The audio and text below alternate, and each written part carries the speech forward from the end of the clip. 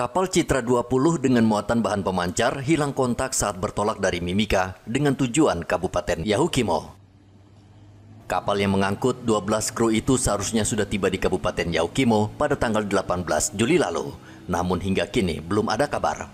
Kantor SAR Mimika yang mendapat laporan langsung menerjunkan tim untuk mencari di perairan Mimika. Tim SAR sudah mempelajari peta dan rute kapal tersebut dan seharusnya kapal melewati jalur Kabupaten Asmat.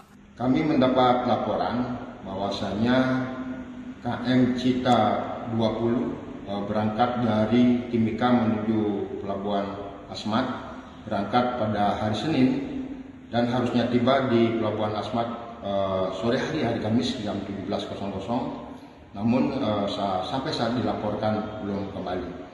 Kami langsung mengawasi berita tersebut dan melaksanakan koordinasi dengan uh, stasiun jalur pantai serta kapal-kapal yang melewati jalur tersebut uh, sampai sore hari uh, memang hasilnya masih nihil. Selanjutnya kami melaksanakan pencarian di hari Sabtu dengan melaksanakan pencarian di uh, kurang lebih jaraknya dari Asmat 35 nautical mile dan memeriksa jalur-jalur pelayaran.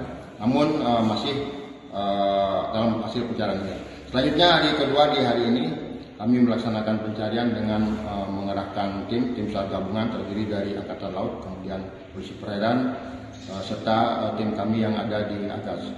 Uh, sampai di, sampai saat ini masih uh, kita laksanakan pencarian, mudah-mudahan uh, di hari ini bisa kita temukan dalam keadaan selamat. Saat ini tim SAR gabungan tengah menyisir rute yang dilewati kapal. Hingga berita ini disusun, tim SAR masih terus mencari, sedangkan nasib 12 ABK kapal tersebut juga belum diketahui.